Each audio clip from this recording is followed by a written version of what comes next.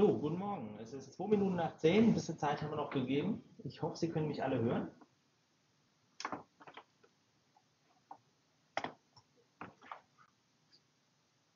Yep, kommt einmal. Ein bisschen leise, aber sonst okay.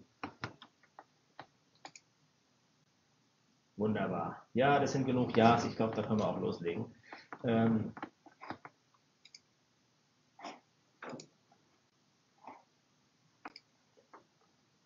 So, wir haben nicht mal 50 Prozent erreicht. Laut Xing haben sich 209 Leute sogar angemeldet. Und äh, wir haben jetzt knapp 107 Teilnehmer. Ab und zu kommt einer dazu, der, der geht weg. Wir werden sehen, was am Schluss kommt. Ähm, zur Konferenzorganisation. Sie haben wahrscheinlich schon gemerkt, dass das Meeting auf Office 365 gehostet wird und wir deshalb keine Audioeinwahl per Telefonie haben. Das ist die übliche Krankheit von Office 365. Aber als hier 200 Leute sich angemeldet haben, habe ich mir verkniffen, das auf der Infrastruktur von Network zu hosten. So viel Bandbreite haben wir dann doch nicht. Ähm, diese Präsentation wird im Wesentlichen eine PowerPoint-Präsentation sein. Ich habe eigentlich keine Demos oder Videos, die ich zeigen möchte. Es reicht also, wenn Sie einfach nur äh, Ihren Bildschirm betrachten und äh, ja, mir folgen. Ich sehe jetzt per EM, dass einige Leute keinen Ton haben. Jetzt sehe ich natürlich, die meisten Leute haben Ton. Ähm, das heißt, senden tue ich und viele hören. Das heißt, prüfen Sie mal, ob Ihr Lautsprecher eingeschaltet ist, äh, ob Sie das richtige Audio-Device eingestellt haben, irgendwie das stumm geschaltet haben. Ähm, das kann die verschiedensten Dinge sein.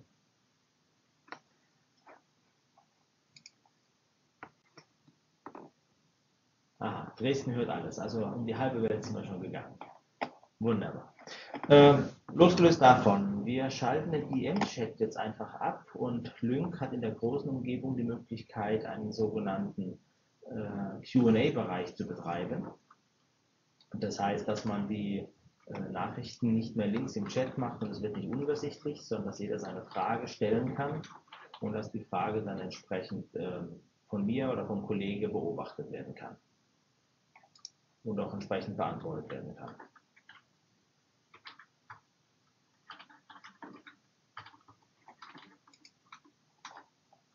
So. Ich mache einfach mal weiter. Ich habe eine ganz kurze Information, wer hier spricht. Für die Leute, die mich nicht kennen, mein Name ist Frank Karius, ich bin der Betreiber der NSX-FAQ, ziemlich bekannt im Bereich Exchange. In letzter Zeit mache ich viel mehr äh, mit Link. Dahinter steckt die Firma Netted Work. Wir haben so vier Geschäftsbereiche. Einmal Communication, darunter, darunter verbirgt sich quasi Link und Exchange. Den Bereich Collaboration, Stichwort SharePoint. Platform Service, darunter verstehen wir Active Directory, DNS, Zertifikate, Load Balancer, IP Routing, Direct Access, alles was so ein Systemhaus natürlich macht. Und wir haben Managed Services, das ist quasi unser Support. Ähm, als Information für alle, die jetzt nicht hören, ähm, ich schreibe mal kurz auf, dass die Session aufgezeichnet wird. Das heißt, die, die keinen Ton haben, können es dann jetzt zumindest lesen, dass äh, das Ton funktioniert. Und äh, wir werden die hinterher zum Download auch bereitstellen. Wer also jetzt nicht hören kann, kann es später nachlesen. Das zweite Standbein von Network, ganz kurz, ist die Produktentwicklung und Softwarehaus in QSIG und OpenProxy. Haben Sie sicherlich auch noch gesehen.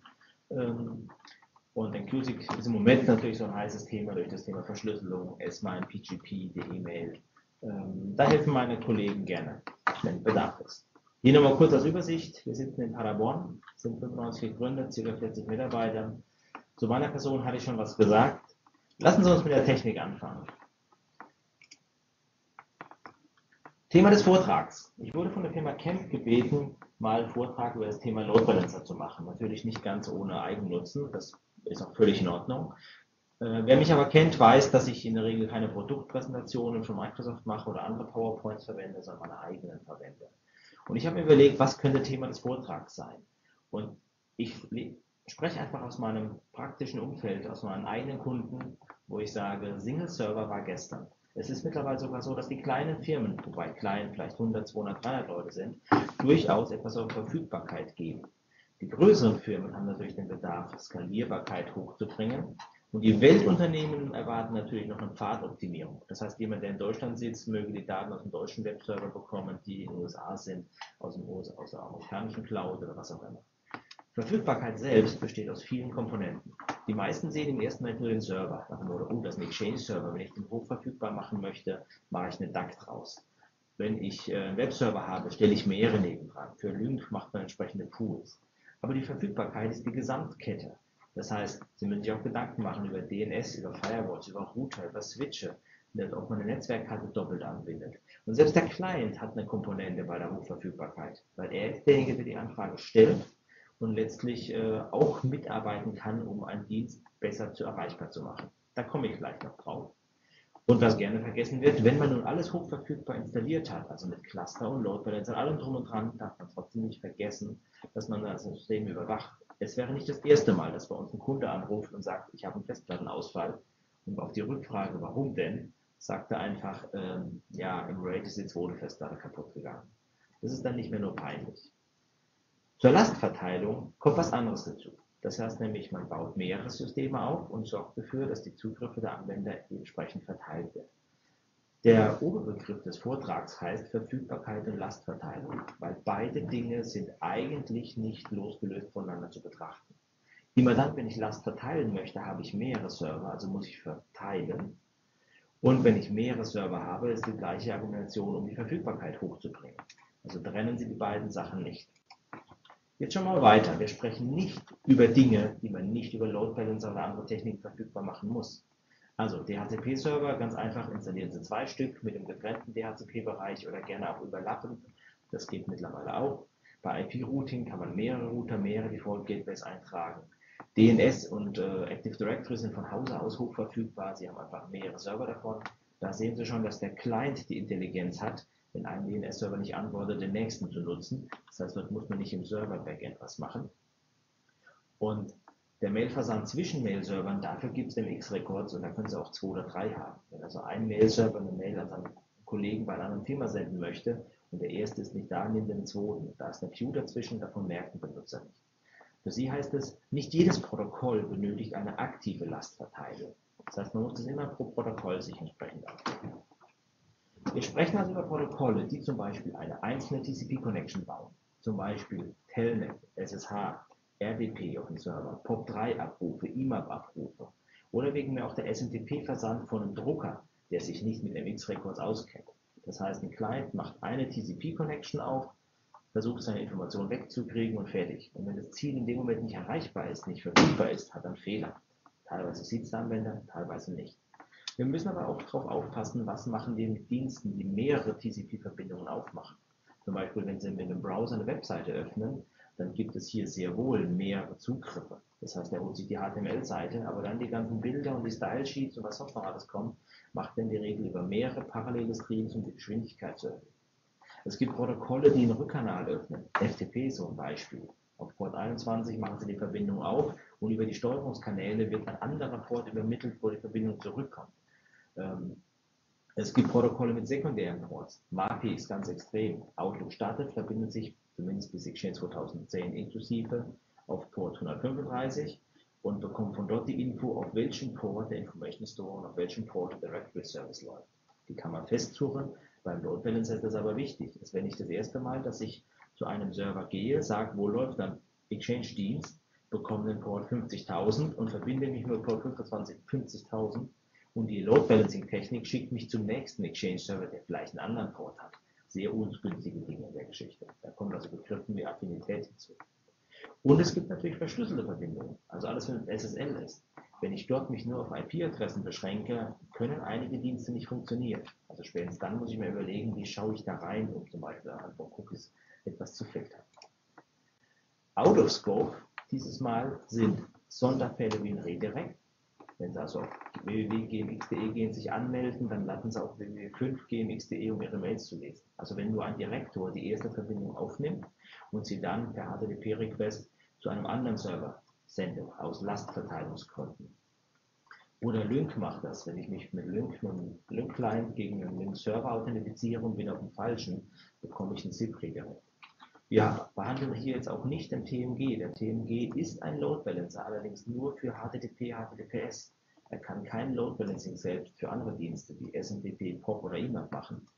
Und wenn Sie mehrere TMGs nebeneinander stehen, muss natürlich auch die externe Seite von draußen zum TMG verteilt werden. Und dann nutzt der NLD. Da komme ich später drauf. Es gibt beim IIS eine Funktion, IIS Application Request Routing. Auch diese kann Anfragen auf mehrere Backend-Server verteilen. Das Ziel hier ist aber eher die Skalierbarkeit. Und was hilft Ihnen, wenn Sie nur einen dieser Reverse Proxies hätten? Haben Sie keine Hochverfügbarkeit. Also müssen Sie wieder zwei haben, also müssen Sie die beiden wieder hochverfügbar trennen. Insofern, das ist nur eine Applikation, die dahinter steckt. Der Windows 2012 2 Web Application Proxy, den Microsoft ja ein Stück weit als TNG-Nachfolger platziert, macht kein Load Balancing zum Backend und kein Load Balancing für eingehende Verbindungen. Über die möchte ich also nicht groß weiter reden. Sie haben jetzt ein paar Mal den Begriff gehört, Affinität. Affinität ist eine ganz wichtige Geschichte, wenn ich im Hintergrund zwei oder mehr Server habe und ein Client macht eine Verbindung auf und kurz danach macht der Client eine zweite Verbindung auf, dann ist es in den meisten Fällen sinnvoll, dass diese zweite Verbindung zum gleichen Server geht. Dazu ist allerdings erforderlich, dass der Load Balancing Mechanismus ein Kriterium findet, anhand er die Leute auf die verschiedenen Clients, auf die verschiedenen Backend-Server verteilt. Eine ist natürlich zu sagen, gut, mir völlig egal. Wenn da eine Verbindung kommt, schicke ich sie zum nächsten Server.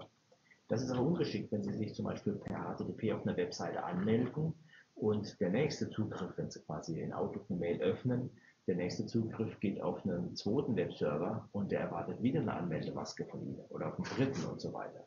Das ist völlig bekloppt. Ähm, deshalb ein Load Balancer oder eine Load Balancing Technik kann anhand der Source IP arbeiten. Das ist nett, das funktioniert in den meisten Fällen, aber was passiert, wenn viele Clients sich hinter einer Source IP verbergen? Also zum Beispiel die ganzen Jungs, die über Mobiltelefone, über UMTS online sind, verbergen sich in der Regel hinter wenigen IP-Adressen. Microsoft selbst hat so ein Problem auch. Stellen Sie mal vor, Sie sind eine Firma mit 1000 Mitarbeitern, die alle ihre Exchange-Postfächer in der Cloud hat und alle über eine Firewall rausgehen. Wie verteilt Microsoft in der Cloud den Traffic, wenn alle von der einen IP der Firewall kommen? Das sieht aus, als wären 2000 oder 1000 Outlooks hinter einer IP-Adresse. Das sind ganz neue Anforderungen. Deshalb gibt es einige Dinge, die über HTTP gehen und dort gibt es den HTTP-Header. Das heißt Authentication-Header, ähm, User Agents, irgendwelche andere Felder, die eine Applikation zum Beispiel einfügt oder die Load Balancer selbst einfügen kann. Wichtig für den Verteilmechanismus, egal welcher Hersteller und welches Produkt es ist, es sollte eine Möglichkeit haben, den Endpunkt des Clients individuell zu erkennen und basierend auf den Anforderungen der, Anwendung, der Anwendung den Traffic weiter zu verteilen. Und dazu gehört natürlich Cookie. Wenn man das Ganze über SSL macht, ist natürlich klar, dass man SSL aufbrechen muss. Sprich, der Lastverteilmechanismus muss mit dem Zertifikat den SSL-Verkehr entschlüsseln, dann die Inhalte angucken und entsprechend wieder zum Backend-Server verteilen. Kleiner Vorteil, die Strecke zwischen Load Balancer und Backend-Server muss nicht verschlüsselt sein. Damit entlastet man den Backend-Server und spart auch auf dem Load Balancer noch ein bisschen Verschlüsselungslast. Heißt aber, auf dieser Strecke sollte nicht jemand mitlauschen. Also nicht, dass Ihnen passiert, wie Google dass jemand auf die Webseite von Google in den USA geht und der Zugriff aufs Datacenter in Europa wird von der NSA mitgelauscht, zumindest wenn man den Aussagen glauben darf. Ich werde in der Präsentation einige Animationen verwenden und damit wir da alle auf dem gleichen Punkt sind, habe ich meine erste einfache Animation gemacht. Sie sehen links einen Client, der hat die IP-Adresse AAA1, weil er im Subnetz AAA ist und die Client IP1 hat. In der Mitte ist ein Router, der hat die BBB1 im Subnetz B und ganz rechts ist ein Service, der hat quasi am Ende die Punkt 2. Oben sieht man diesen A-Rekord, www.a auf die Zieladresse. Und was jetzt passiert ist, der Client macht eine Anfrage, also so ein Client startet wie beim Browser und möchte auf www.firma.de. Der Client fragt einen DNS-Server, der DNS-Server antwortet. Der Client formuliert ein Paket von seiner Source-IP, also von AA1 Doppelpunkt irgendein Highport auf das Ziel, Destination, des BBB 2 Doppelpunkt 80, also dem Webserver. Das Paket geht rüber zum Webserver. Der Webserver baut eine Antwort darauf, die gerade umgekehrt ist. Das heißt, die Quelle ist wieder BBB 2.80 und das Ziel ist jetzt der Hyport des Clients und das Paket geht so weit zurück. Das heißt, eine ganz einfache Animation. Und jetzt schaue ich mal an, was ist die erste Möglichkeit einer Hochverfügbarkeit. Die erste Möglichkeit einer Hochverfügbarkeit ist die durch ein IP-Failover. Bestens bekannt durch den Microsoft Cluster Service. Das heißt, auf der rechten Seite ist ein Service, der ist hier grün angezeigt, der hat die virtuelle IP-Adresse www4 mit einer MAC-Adresse und der Client macht als nächstes wieder die Anfrage auf den DNS-Server, bekommt die Adresse und dann stellt er ein Paket an diese virtuelle Cluster-IP. Das Paket geht nach rechts zum Cluster-Server, also zu diesem Virtual Service. Der formuliert die Antwort und schickt es zurück. Insofern ist das nicht viel anders als bei, den ersten, bei der ersten Animation. Interessant hier ist nur, wenn der Service ausfällt, wird er durch eine Technik, zum Beispiel Microsoft Cluster Service, auf den zweiten Knoten geschwenkt. Jetzt passen Sie auf, unten rechts steht als MAC-Adresse noch B2, B2 drin. Das heißt die MAC-Adresse des zweiten Knoten. Wenn ich jetzt, ein Punkt ist nämlich, dass durch den Schwenk der Cluster-Service rechts die MAC-Adresse ändert und damit der Router das mitkriegt, dass die Ziel-IP jetzt unter einem anderen physikalischen Knoten ist, muss er ganz viele APRIC-Quests senden. Durch diese APRIC-Quests lernt der Router das und bekommt die Daten rüber. Es gibt noch eine zweite Geschichte, wenn Sie nicht gleich mit Microsoft Cluster Service arbeiten möchten. Ich habe ein Skript veröffentlicht, Mini SFT. Das ist ganz einfach ein PowerShell-Skript, was auf einem Server, auf einem Standby-Server läuft, den aktiven Server anpingt und äh, entsprechend, wenn der erste Server nicht da ist, schwenkt auf einen anderen Server. So, ich höre jetzt gerade, dass die Audioqualität nicht so gut ist, wie ich mir das eigentlich erwünscht hätte oder erhofft habe. Jetzt geben Sie mal eine kurze Zeit. Ich wechsle mal kurz das Audiogerät, also das Headset. Vielleicht wird es dann entsprechend besser.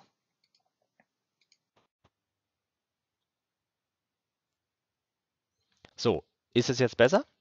Ich hoffe mal, dass da jetzt ein Feedback kommt, dass die Qualität jetzt besser ist von der Sprache. Gut, da haben wir auch gleich den Test gemacht, dass es gut und schlecht ist. Ich ein drahtgebundenes genommen, weil ich Angst hatte mit auf Out of Akku. Jetzt habe ich mein Standard drahtloses. Wunderbar, dann ist das jetzt auch ein Stück weit besser. Oh, klarer, extrem leise, jetzt viel schlechter. Dann liegt es doch nicht bei mir, sondern vielleicht an der Cloud oder an der Bandbreite irgendwo. Ähm,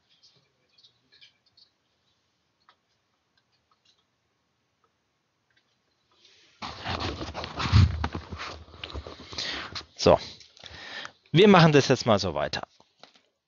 Ah, doch, jetzt ist es gut, wunderbar. Technik, die begeistert. Gut, das war IP-Failover. Schauen wir uns mal das Datenblatt des IP-Failovers entsprechend an. Wenn man zum Beispiel ein Ping auf so eine virtuelle IP macht, und der Failover passiert, dann ist eine ganz kurze Ausfallzeit da. Wenn ich über diese IP-Failover-Technik einen Telnet-Server verfügbar mache oder einen FTP-Server äh, verfügbar mache, dann ist eine Reconnect-Applikation erforderlich. Es ist sehr schnell allerdings wieder möglich.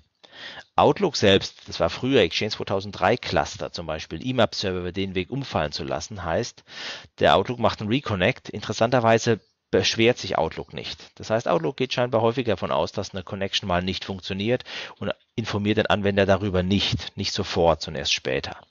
Bei SMTP ist es so, dass eine bestehende Connection natürlich verloren geht, aber eine neue Verbindung erreicht zuverlässig den Service. Heißt, wenn gerade ein Drucker einen Scan per Mail schickt und in dem Moment passiert ein Failover, dann müsste er es nochmal senden. HTTP-Sessions sind entsprechend auch wieder aufzubauen.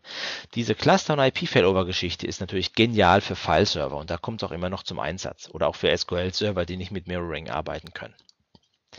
Hier nochmal ganz kurz das Datenblatt zur Referenz, können Sie sich später ja auch angucken. Aus meiner Sicht sind IP-Failover eine einfachere Hochverfügbarkeitsoption, insbesondere dann, wenn die Dienste nicht auf mehreren Servern verfügbar sein können. Ähm, aber es ist natürlich keine Lastverteilung. Es ist nur der eine aktiv und der andere ist ein Standby, also 50% Provisioning. Wenn man das mit Microsoft Cluster macht, ist heute die Lizenz im Windows Standard Server ja mit drin. Früher musste man dafür noch extra bezahlen. Schauen wir uns mal das nächste an. DNS Round Robin. Wenn mich jemand fragt, ist DNS Round Robin eine Hochverfügbarkeitslösung, dann bekommen sie Antworten von Leuten, die sagen, nee, DNS Round Robin ist keine Hochverfügbarkeitslösung. Andere sagen, DNS Round Robin ist eine Hochverfügbarkeitslösung. Ähm, beide haben irgendwie recht. Es hängt nämlich vom Protokoll ab. Der Trick bei DNS ist, ein Hostname oder ein Name eines Service hat mehrere IP-Adressen. Und das machen einige. Wenn Sie mal kurz gucken, ich stelle eine Anfrage an einen DNS-Server und ich bekomme eine Antwort zurück. Und hier eine Beispielantwort von Google. Das heißt, wenn Sie eine Namensauflösung auf www.google.de machen, bekommen Sie ganz viele Adressen. Im Beispiel sehen wir jetzt hier noch dreieinhalb. Äh, ich glaube, es sind insgesamt 16 und bei jeder Anfrage kommen noch ein paar mehr. Also die müssen ganz viele Server irgendwo haben, die auf unterschiedliche IP-Adressen reagieren. Und der Client schnappt sich dann davon von der Antwort eine IP und macht die Verbindung zu diesem einen Service, in meinem Beispiel jetzt den unteren Server mit der Punkt 2. Der Server antwortet darauf und die Antwort geht zum Client zurück. Was hier jetzt interessant ist bei dieser DNS Round Robin Geschichte ist, es ist eine gute Möglichkeit, wenn der DNS-Server es unterstützt, um ausgehend von der Source IP eine optimierte Antwort zu liefern. Also stellen Sie vor, ich sitze in Deutschland und möchte auf www.google.com und es gibt in Europa irgendwo einen Webserver, der diese Antwort liefern kann, dann wäre der DNS-Server gut beraten, mir die deutsche IP-Adresse zu geben und nicht eine in den USA, um den Verkehr kurzfristig zu machen. Und was die wenigsten schon mitgekriegt haben, ein Windows DNS-Server macht das per Default in ihrem Active Directory. Allerdings nur, wenn der Client, der fragt, und der Zielserver im gleichen Subnetz sind oder die IP-Adresse, dann liefert der DNS-Server die IP-Adressen im gleichen Subnetz an der ersten Stelle aus. Also wenn Sie zum Beispiel sagen, ich suche nach einem Domain-Controller per DNS und Sie haben 5, 6, 7 Domain-Controller weltweit verteilt und zufällig auch einen vor Ort im Client-Netz, dann ist die Wahrscheinlichkeit sehr hoch, dass alle Clients den vor Ort nutzen. Der Client verbindet sich zu der Adresse und der Windows Active Directory Client ist in der Hinsicht auch optimiert. Wenn der Service nicht erreichbar ist, schwenkt er zum zweiten. Für diesen Fall ist DNS Round Robin, gucken Sie in der Active Directory DNS, eine gute Möglichkeit, Hochverfügbarkeit zu machen. Schaue ich mir das jetzt bezüglich auf die Clients an, dann stellen Sie natürlich fest, ein Ping ist ein bisschen unblöde. Wenn ich einen Ping auf so eine Round-Robin-Adresse habe, wenn ich einen Server anspreche, der funktioniert, bekomme ich eine Antwort. Wenn ich einen anderen anspreche, bekomme ich keine Antwort. Also dieser geht, geht nicht. Wenn ich aber jetzt mal ein Telnet mache und ich habe jetzt ein paar Netmon-Mitschnitte generiert. Dann sehen Sie hier, das ist ein Netman-Mitschnitt von einem Telnet auf einen Namen, der zwei IP-Adressen hat als Ziel, nämlich die 10.111 und die 192.168.100.59. Und Sie sehen, er versucht erst den Synchronize mit der ersten Adresse, nach drei Sekunden nochmal, nach sechs Sekunden nochmal und nach zwölf Sekunden hat er auf, also danach hat er aufgegeben und versucht zum anderen zu gehen. Das heißt, ein Telnet Client macht automatisch ein Failover, Allerdings habe ich 21 Sekunden Verzögerung. Vorausgesetzt, ich habe zwei Server und einer davon ist nicht da. Wenn ich natürlich 10 Server habe und 9 davon sind nicht da, dann habe ich 9 mal 21 Sekunden im schlimmsten Fall als Verzögerung. Schaue ich mir einen FTP an, also den ganz normalen FTP-Exe, die Kommandozeile von Windows, äh, habe ich genau das gleiche Verhalten. Also auch ein FTP macht das. Wenn Sie also per Kommandozeile ein FTP starten, um eine Datei runterzuladen, und Sie haben zwei Server, die den gleichen Inhalt haben und einer davon ist nicht erreichbar, dann merken Sie das nur dadurch, dass eine Verzögerung von knapp 21 Sekunden da ist. Und dann geht der Client zum nächsten. Also DNS Round Robin kann eine Lösung sein. Andere FTP-Produkte wie zum Beispiel Filzilla, den ich gerne nutze, macht das nicht. Der bleibt bei der ersten IP hängen. Macht kein Round Robin. Die, also es ist nicht mal protokollabhängig, sondern wirklich clientabhängig. Schauen Sie sich Outlook an. Mit IMAP 4 gleiches Verfahren.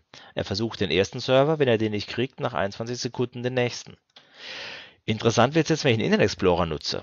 Der schwenkt nämlich hin und her und hin und her. Ich habe jetzt also absichtlich einen Namen genutzt, der auf zwei Server ging, die beide nicht erreichbar waren. Und so sieht man, dass ein Browser durchaus mit einer Hochverfügbarkeit über DNS Round Robin arbeiten kann. Man muss allerdings die Zeitverzögerung von 21 Sekunden im Auge haben. Wenn Sie also bei Link auf Meeting klicken, auf so einen Meeting-Link, was Sie ja gemacht haben, und es würde schon mal 21 Sekunden dauern, bis der Browser überhaupt zum nächsten Server hopst, vorausgesetzt der nächste ist dann online. Es gibt Dienste, wo diese Zeitverzögerung natürlich nicht gewünscht ist. Chrome zum Beispiel macht es sehr viel aggressiver. Chrome macht nämlich drei Verbindungen zur ersten IP auf und versucht die immer wieder und nach 12 Sekunden, äh, nach 21 Sekunden geht er zur zweiten IP. Das heißt, er versucht gleich parallele Threads aufzumachen, dummerweise nur zur ersten IP. Schaut man sich den nächsten an, Firefox, der macht es besonders pfiffig, vielleicht auch ein Grund, warum er so schnell ist. Firefox baut sofort Verbindungen zu den IP-Adressen, die er per DNS gekriegt hat, auf und versucht es immer wieder. Also Firefox macht quasi einen Fächerschuss und wenn man guckt, der Host, der zuerst antwortet, bei dem bleibt er dann hängen und die anderen Connections baut er wieder ab. Insofern, Firefox ist von Hause aus hochverfügbar, was DNS-Roundrobin betrifft. Ja, Firefox Rules, ich habe schon gesehen. ähm, ob das sinnvoll ist, ist natürlich eine Geschichte. Wenn so ein Browser sowas macht, er belegt natürlich ganz viele TCP-Sessions. Und vielleicht wissen Sie, früher, Windows 7 hat es mal angefangen, dass ein Client maximal 10 gleichzeitige Connections aufbauen konnte. Manchmal kann man natürlich auch sich selbst ins Knie schießen.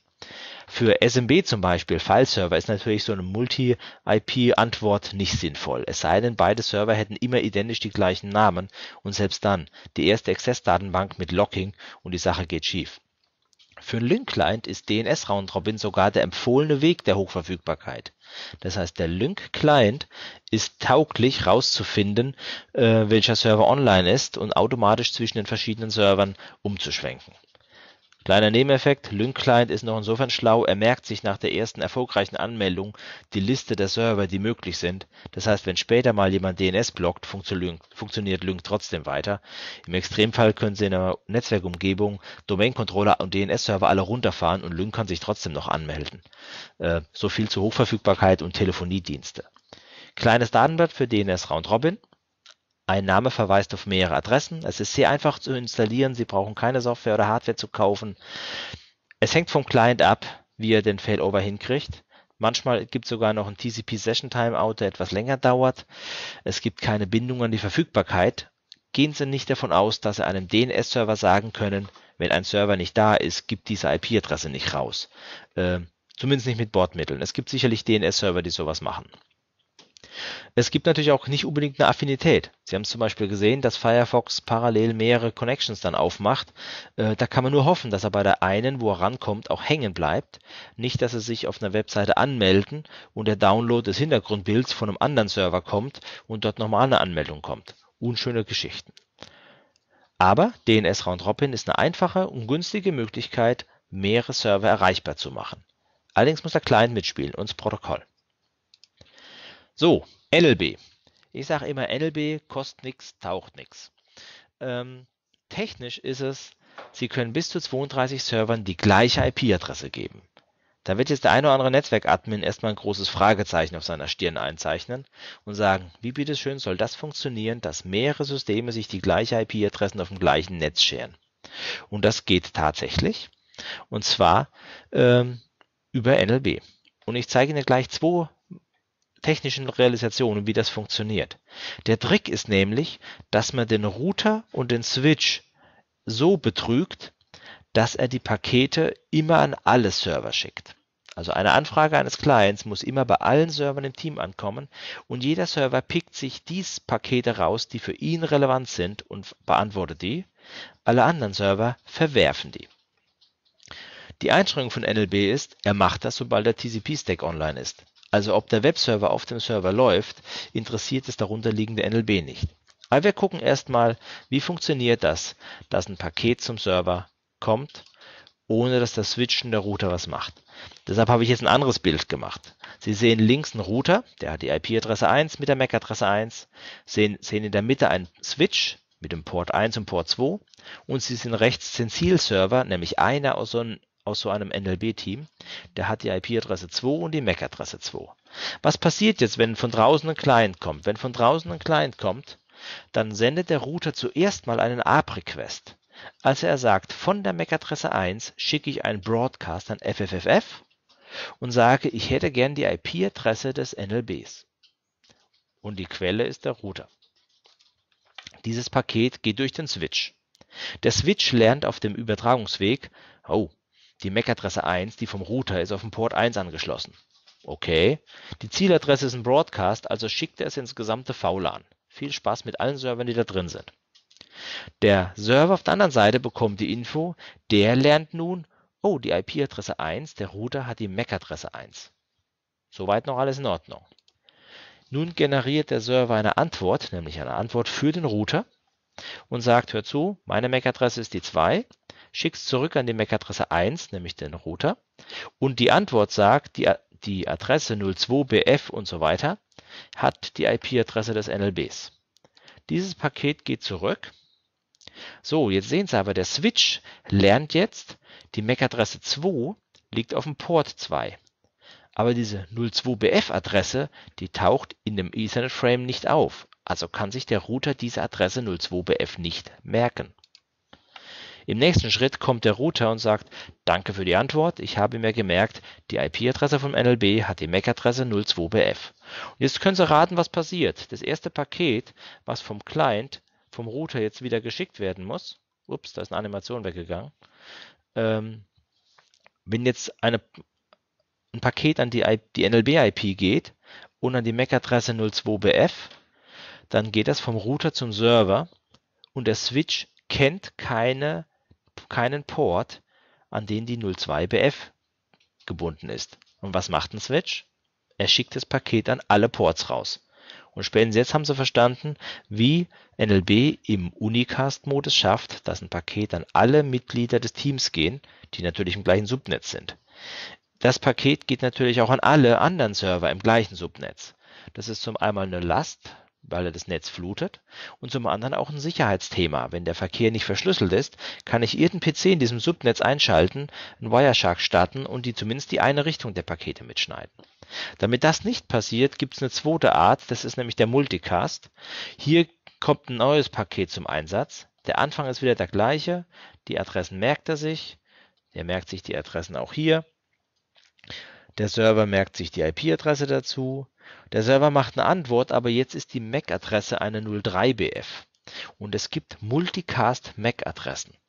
Die wenigsten Admins wissen das, aber das sind IP-Adressen, die vom Switch auf mehreren Ports, also MAC-Adressen, die vom Switch auf mehreren Ports gelernt werden können. Das Paket geht zurück, der Switch lernt es nicht und so läuft die Sache weiter.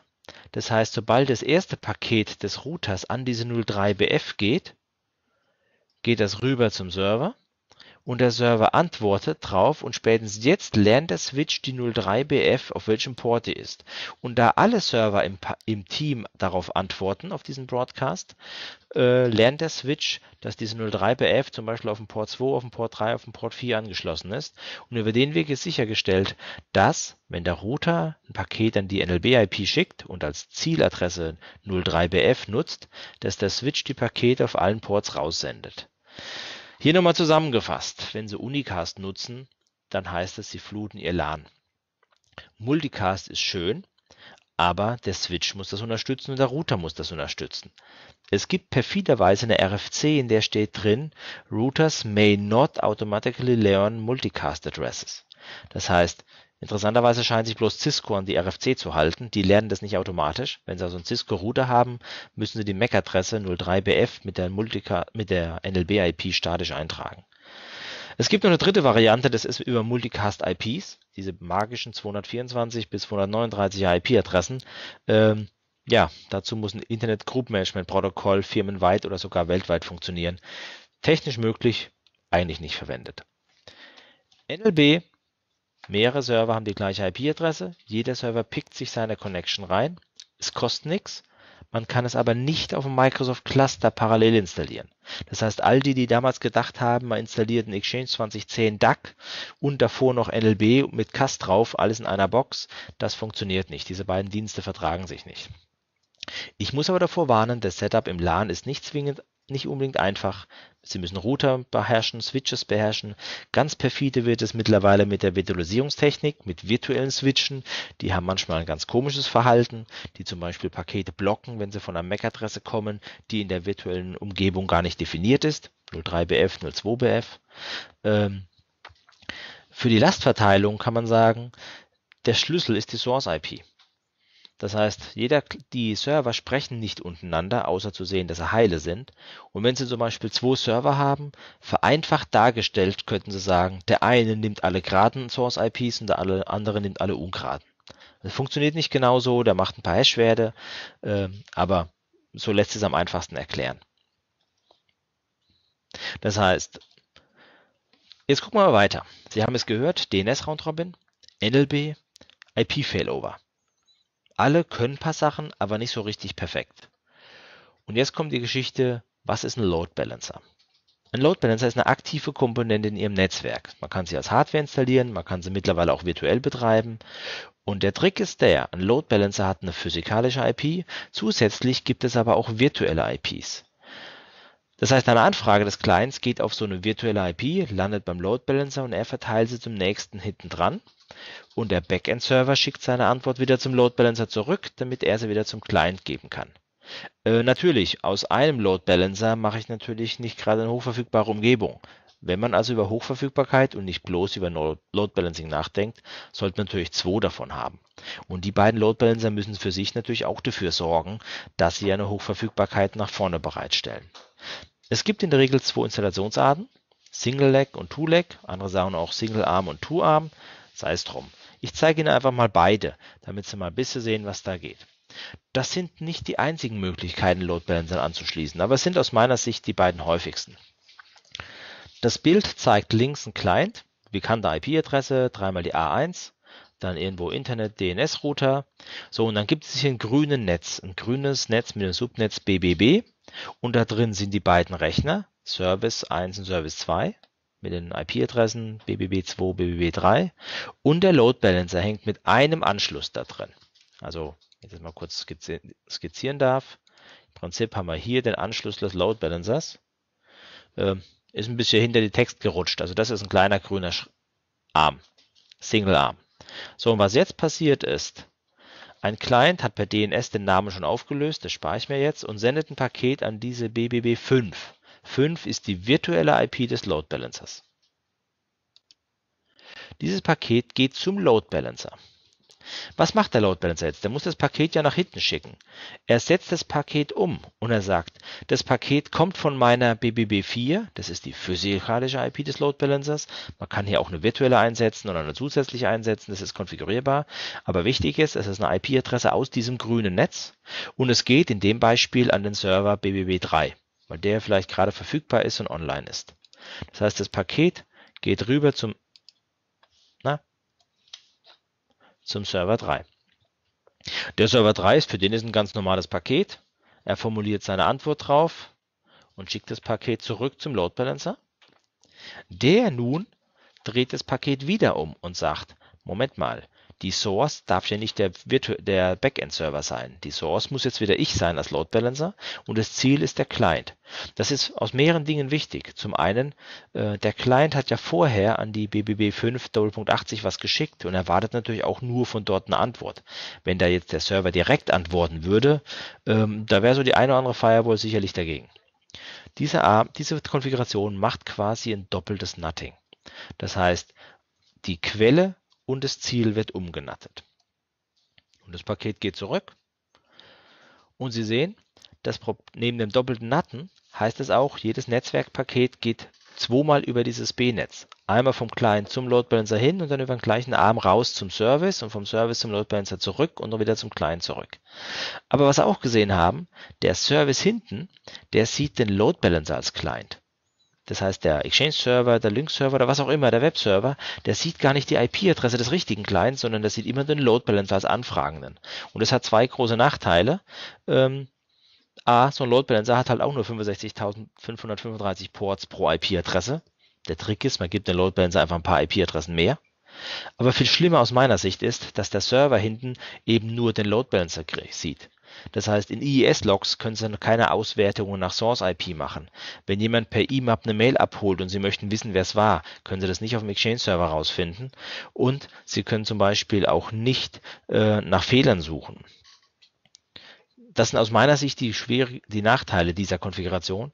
Der große Vorteil ist, so lässt sich ein Load Balancer quasi innerhalb von Minuten in den Netz integrieren, weil Sie sonst nichts ändern müssen. Wenn Sie aber sagen, also bei Exchange noch was Wichtiges, wer von Ihnen, sicher arbeiten einige von Ihnen mit dem Receive Connector, wo Sie anhand der Source IP sagen, die und die Source IPs dürfen uns als Relay missbrauchen. Wenn Sie so einen SMTP-Empfänger über Load Balancer hochverfügbar machen und Sie sehen die Source IP nicht, dann müssten Sie all diese Regeln versuchen, Load Balancer zu pflegen. Nicht gerade einfach. Die Alternative ist zu sagen, man installiert den Load Balancer als Two-Leg. Das heißt, man stellt ihn zwischen rein. Das heißt, die Clients sprechen vom Netz A, dem blauen Netz, über das gelbe Netz C zum Load Balancer. Sie sehen, die virtuelle IP-Adresse ist die CCC5. Der Load Balancer hat aber nach hinten zu seinen Backend-Servern ein eigenes Subnetz. Technisch passiert jetzt folgendes. Der Client schickt wieder wie gehabt ein Paket hier rüber. Und der Load Balancer setzt das Paket jetzt um. Und man sieht, die Quelle bleibt unverändert. Der Load Balancer setzt nur das Ziel um auf den entsprechenden Server.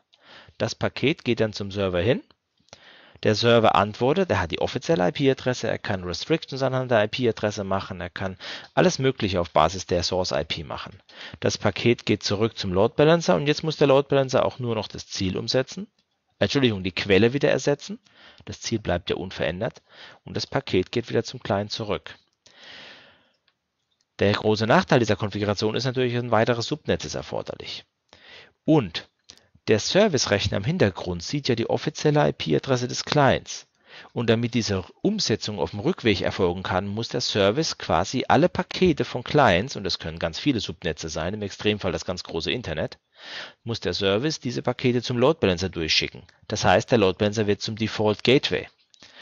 Das große Problem dabei ist einfach, dass der Load Balancer zum Router wird. Und das ist vielen Netzwerkadministratoren erstmal nicht so bekannt oder sagen, äh, warte mal, Router sind Router, das ist mein Core-Builder, der ist dafür gekauft, der ist im Rack eingebaut. Der Load Balancer soll jetzt zwischen Netzen routen. Äh, es darf keinen weiteren Router neben mir geben. Aber es ist tatsächlich so. Diese Konstellation, die ich jetzt gemalt habe, sieht sehr einfach aus. Auf der nächsten Seite zeige ich Ihnen, was da noch alles passieren kann, auf was Sie noch bedenken müssen. Nämlich die Tatsache, dass das Default Gateway der Load Balancer ist äh, auch ein Backend-Service muss zum Beispiel mit einem Domain-Controller reden. Wenn der Domain-Controller nicht im gleichen Subnetz steht, sondern im anderen Subnetz, dann hieße das auch der LDAP-Traffic würde durch den Load Balancer als Router nach draußen in das andere Subnetz gehen. Oder Sie haben irgendwo einen Backup-Server, der über TCP Ihre Exchange-Datenbank sichert. Wenn Sie aber jetzt sagen, oh wunderbar, dann mache ich im Hintergrund ein kleines violettes Backup-LAN rein, ab dem Moment hat Ihr Service-Rechner zwei Netzwerkkarten. Dann kommen wieder da die Geschichten. Äh, auf welcher Netzwerkkarte binden Sie nicht BIOS? Mit welcher Netzwerkkarte registriert sich der Server im DNS-Server? Sie sollten also garantiert nicht beide verbinden. Ähm, wenn Sie jetzt wie hier gezeigt noch einen Router haben, der diese Netze miteinander verhindert, weil Sie glauben, ja, dann ändere ich doch hierüber die Leitwege, dann müssen Sie wieder furchtbar aufpassen, dass ein Paket vom Client nicht über den Load Balancer zum Service hingeht, aber das Rückpaket am Load Balancer vorbeigeht und diese Ersetzung nicht mehr passiert. Ganz grifflich wird es, wenn Sie zum Beispiel einen Application Server haben, diesen violetten App-Server hier dargestellt, und der steht jetzt nicht draußen im Client-Netz, sondern der steht im Server-RZ-Rechenzentrum, also in diesem BBB-Netz. Wenn dieser Abrechner jetzt zum Beispiel auf den Exchange Cast zugreifen möchte, dann hilft ihm es ja nicht, wenn er hinten auf den grünen Server zugreift, sondern er möchte vorne auf diesen gelben Load Balancer von draußen kommen. Das kann er ja machen über den Router, der unten ist. Das heißt, der Server ab, wenn ich das mal äh, kurz einmale, das heißt, ähm, ding, wenn der hier ein Paket senden möchte, dann kann er das ja über diese Leitung hier runter hier draußen auf den Load Balancer senden. Ist ja kein Problem. Der Load Balancer gibt es auch problemlos nach innen weiter. Aber wenn der Service jetzt beim Layer 2, bei diesem Load Balancing mit 2 Arm die originale Source IP sieht, dann wird dieser Server direkt hierhin antworten. Weil es ist das gleiche Subnetz, da greift das Default Gateway nicht. Also das sind einige Dinge, die man einfach berücksichtigen muss. Die meisten Firmen lösen das dadurch, dass zwischen dem Load Balancer und dem Servicerechner quasi ein eigenes VLAN ist, was nur die miteinander verbindet, was auch gar nicht geroutet ist, was niemand wissen muss, äh, damit also sichergestellt ist, dass dort kein Querverkehr passiert. Das heißt, Sie müssen sich da schon ein bisschen Gedanken machen über IP-Routing, über Leitwege. Warum, was kann Load Balancer noch? Mal ein bisschen hin und her natten kann ja auch eine Fritzbox, zumindest mal auf die, in die eine Richtung. Aber interessant wird es natürlich, wenn so ein Load Balancer im Hintergrund die Server überwacht. Also nicht bloß anpingt, sondern dass zum Beispiel so ein Loadmaster äh, mein OVA-Server alle Minute holt er sich die Anmeldeseite von OVA und guckt, ob die antwortet. Ganz neu für Exchange 2013, Managed Availability, vielleicht hat es jemand schon gehört. Das heißt, ähm, Sie gehen auf https Servername over healthcheck.htm und der Exchange 2013 Server liefert Ihnen 200 OK, wenn alles in Ordnung ist. Wenn Sie den Dienst stoppen, kriegen Sie kein 200 OK mehr. Endlich ist diese Funktion drin, weil jetzt kann Load Balancer über den Weg wirklich auch sehr auf sehr hohem Level feststellen, ob der Backend-Server funktionstüchtig ist und nicht bloß anpingbar. Aber es gibt auch andere Dienste wie Mail, FTP und so weiter. Das heißt, ein Load Balancer kann wirklich auch gut qualitativ prüfen, erlaubt der POP-Server eine Anmeldung.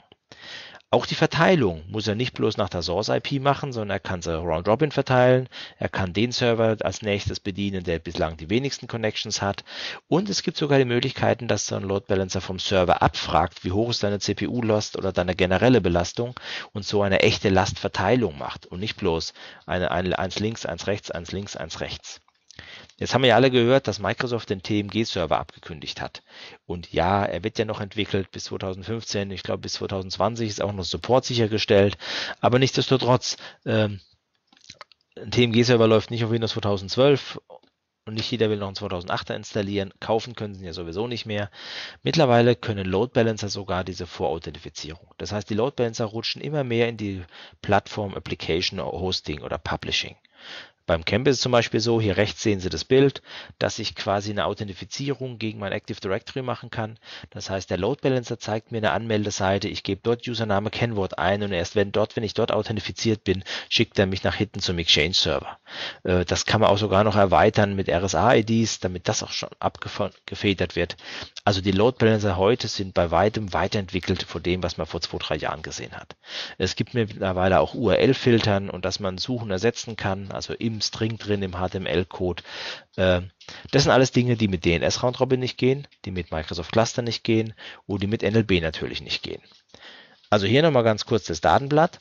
Der Load Balancer ist der Endpunkt des Clients. Er setzt die Anfragen um per Destination NAT oder per und Source NAT und natürlich in dem Moment, wo er SSL aufbricht, da bin ich jetzt gar nicht drauf eingegangen, äh, indem er als HTTPS Reverse Proxy arbeitet. Das heißt, der Client schickt seine HTTP-Anfrage in den Load Balancer, der gibt sich als Webserver aus, holt sich die Daten seinerseits aber natürlich von innen. Mit allen Möglichkeiten, die sie haben, den Content da entsprechend zu verändern. Load Balancer müssen natürlich selbst virtuell hochverfügbar sein. Hardware ist möglich, recht einfach. Virtuelle Maschine erlaubt Ihnen den Betrieb zum Beispiel in Azure oder in Amazon WS äh, wer mag, äh, ich habe auch in Azure eine Camp VM laufen. Also wenn Sie ein Azure-Konto haben, können Sie sich eine Camp VM einfach einbinden und starten und mit rumspielen äh, und das System über den Weg kennenlernen. Ähm, eine virtuelle Maschine hilft aber natürlich auch on-premise, wenn Sie zum Beispiel sagen, eine Plattform meiner Hochverfügbarkeit ist die Service Failover Geschichte, die ich am Anfang vorgestellt habe.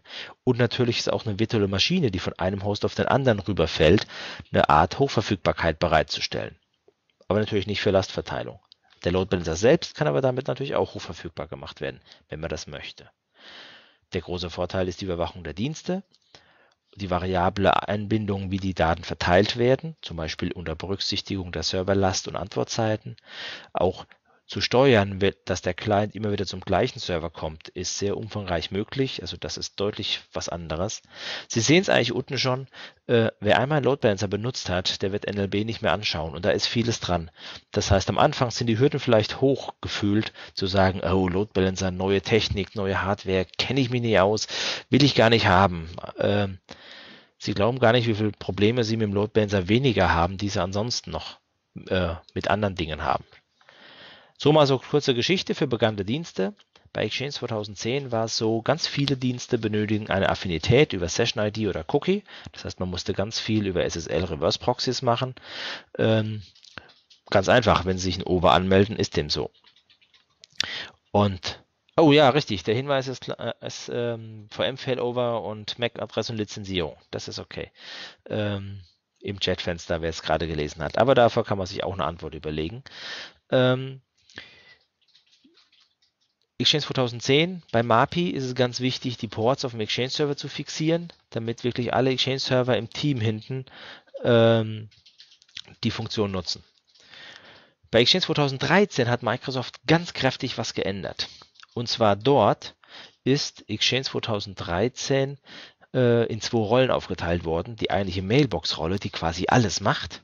Und davor die CAS-Rolle oder die, die eigentlich nur ein Reverse Proxy ist. Eigentlich ist die Kassrolle ein Load Balancer. Äh, aber nur für Exchange natürlich. Das heißt, Sie könnten von draußen, egal über welchen Cass-Server Sie reinkommen, der Cass-Server leitet Ihre Anfrage auf den Mailbox-Server um, auf dem Ihre Postfächer liegen. Ähm, letztlich, sagen wir mal so, viele Dinge, die Microsoft entwickelt, sind sicherlich durch Office 365 getrieben.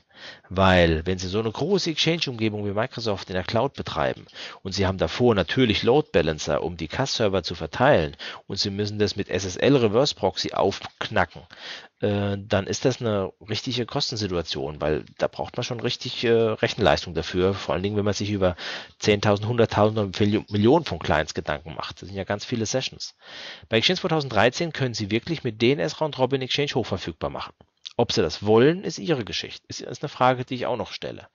Denn wenn man so macht und sie starten Outlook und er erreicht einen Kass, der im Moment down ist, dann wird Outlook halt irgendwo 20, 30 Sekunden bremsen, verzögern, bis er zum anderen rüberfällt. Will man vielleicht nicht unbedingt. Ähm, bei Lync 2013 ist es schon immer so, ähm, schon auch bei 2010, DNS Round Robin ist der empfohlene Weg, um die SIP-Dienste, alle Dienste verfügbar zu machen, mit einer Ausnahme die Web-Services von Link, also die über dieses Link-Adressbuch runterladen, ihre Zertifikate kriegen, Group Expansion, Response Groups steuern, all die Geschichten. Äh, wenn sie dort keinen Load Balancer nutzen, sondern DNS Round Robin, dann passiert es, dass sie was tun und der Client hängt irgendwo 25 Sekunden, bis er den nächsten findet. Und das mit DNS Round Robin ist ja auch immer das Problem, wenn Sie zum Beispiel einen Pool aus vier Servern haben und zwei sind down, dann kann sich Zeit auch mal einfach mal verdoppeln, weil ich zuerst den einen erwische, der nicht da ist, dann den anderen, der nicht da ist, bevor ich auf den nächsten gehe. Äh, hier ist also ein Load Balancer auf jeden Fall empfohlen. Bei SharePoint ist es sowieso klar. Äh, SharePoint Frontends, wenn Sie mehrere aufbauen, da brauchen Sie im Prinzip einen Load Balancer, der über die Cookies und die Session IDs die Clients immer wieder auf der gleichen, auf dem gleichen Frontend hinroutet. Da brauchen Sie mit NLB und DNS Round Robin nicht wirklich anzufangen. Wenn man aber so ein Ding schon mal hat, also den meisten Kunden ist es so, dass man SharePoint oder Lync oder Exchange hat und dafür einen Load Balancer kauft. Wenn er aber schon mal da ist und der Load Balancer jetzt nicht pro Virtual Server lizenziert wird oder pro Bandbreite lizenziert wird, äh, wie das bei einigen Firmen der Fall ist, ähm, dann kann man natürlich sagen, Moment mal, was könnte ich denn noch über den Load Balancer virtuell leiten? Denken Sie mal an SMTP-Versand zwischen Servern, da brauchen Sie es nicht, das macht Exchange alleine. Aber bei POP und E-Mail, MAP, da ist es ganz nett, wenn Sie einen EMAP-Server hinten zweimal haben und der Client macht kein Failover. Aber wer von Ihnen nutzt nicht irgendwelche PowerShell-Skripte oder Blatt-Exe, um aus dem Skript eine Mail zu verschicken? Wenn in dem Moment der Mail-Server nicht erreichbar ist, das Einzige, was das Skript macht, da lief eine Fehlermeldung, aber er versucht es nicht nochmal. Und wie fangen Sie eine Fehlermeldung im Skript ab, wenn Sie gerade einen Fehler per Mail schicken wollten? Hm, ist ein bisschen blöde. Da ist also ganz interessant, den Port 25 für einen Mailempfang von Clients über einen Load Balancer zu jagen, weil nur damit wirklich sichergestellt ist, dass äh, der Load Balancer den, das, die Verbindung zu einem Server leitet, der auch da ist. Aber auch LDAP sieht klar, Domain-Controller haben wir, mehrere LDAP-Server. Ein Windows-Client macht automatisch eine Wahl. Aber hat nicht jeder von Ihnen irgendwo so einen komischen Drucker, der Scan-to-Mail hat und über LDAP ein Adressbuch abfragen kann? Und mal ehrlich, in wie viel diesen Mopierern können Sie mehrere LDAP-Server eintragen? Oder wie reagiert er, wenn Sie dort einen DNS-Namen eintragen, der per DNS-Round-Robin verteilt wird? Eine ganz einfache Möglichkeit, über den Weg die Zufriedenheit der Mitarbeiter zu steigern. Nichts ist peinlicher, als wenn so ein Chefsekretariat äh, ein wichtiges Dokument scannen möchte und auf dem Drucker nach der Adresse sucht und der wartet, ja, oder liefert ein LDAP Timeout, weil sie gerade einen Domain-Controller booten. Das gleiche auch für Radios. Ich habe so einen Wi-Fi Access Point, da kann ich nur genau einen Radioserver eintragen. Ich habe aber drei im Netz. Also schicke ich den Radiusdienst auf den Load Balancer und er verteilt ihn. Und so gibt es noch ganz, ganz viele Dinge, wo sie sagen, wenn ich den Load Balancer schon mal habe dann habe ich auch durchaus noch ein paar Ansatzzwecke dafür, um damit mehr zu machen. Jetzt kommt natürlich die Frage, welcher ist der richtige? Es gibt eine ganze Menge an Load Balancer. Und wenn Sie die diversen äh, Magic-Quadranten von Gartner und EOC und wie sie alle heißen verwenden, äh, dann werden Sie feststellen, es gibt ein paar ganz große Hersteller, die schon immer so einen Namen haben, wie F5 und Cisco und so Geschichten. Und es gibt ein paar andere Hersteller, die auch nicht viel schlechter sind, die vielleicht von der Features nicht so umfangreich sind, aber von der Leistung vergleichbar und vom, vom Preis durchaus interessanter. Ähm, Ich selbst, beziehungsweise die Firma Network, wir haben natürlich damals mit Exchange 2010, damit hat es wirklich angefangen, und dem Cass Array uns Gedanken machen müssen, wie installieren wir bei unseren Kunden Exchange und welchen Load Balancer platzieren wir hier, der für den klassischen deutschen Mittelstand, ich denke mal jetzt nicht an die großen äh, Firmen mit 20, 30.000 Leuten und mehr damals, sondern eher an die Leute, die gesagt haben, ich hätte hier gern zwei Server als DAC, weil ich eine gewisse Verfügbarkeit brauche. Die Replikation finde ich auch ganz nett.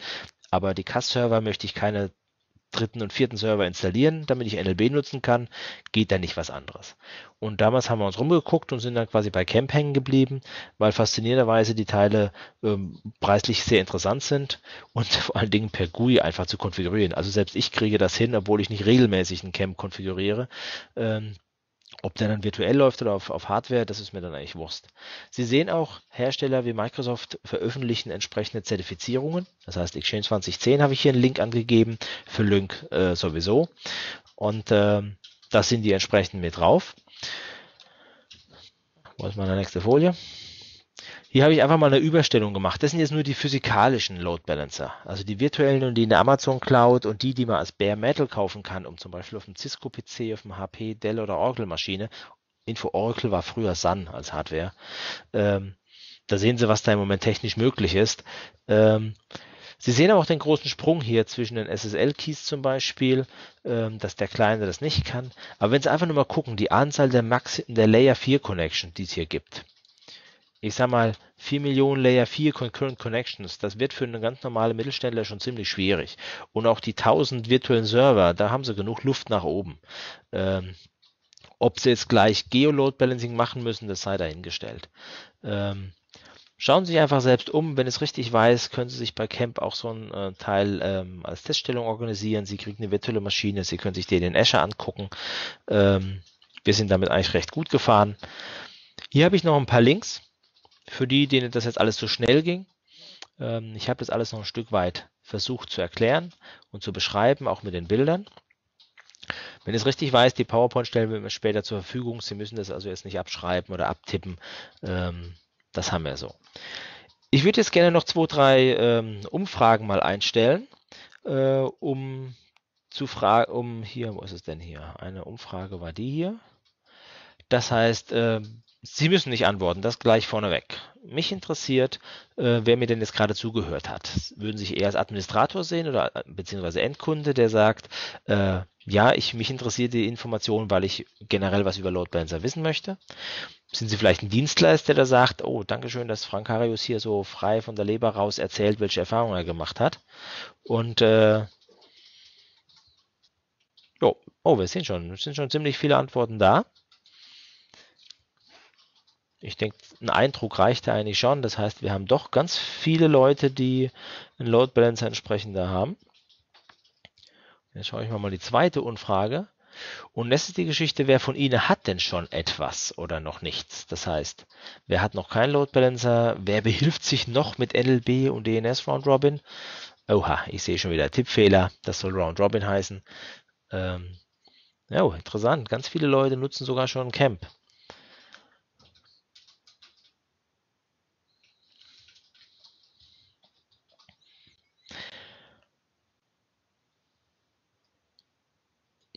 Okay. Ich denke, für ein erstes Feedback reicht es einfach mal, damit wir das entsprechend haben. So, ich bin jetzt eigentlich am Ende meiner Präsentation an, angekommen. Jetzt können wir noch gucken, ob wir hier im Q&A-Bereich, wenn das jemand noch Fragen hat, können wir die gerne über die äh, Instant Message Konfiguration machen. Ansonsten blende ich hier jetzt gleich nochmal die Kontaktdaten von mir ein, für die, die sie wirklich noch nicht haben sollten. Und ähm, na komm,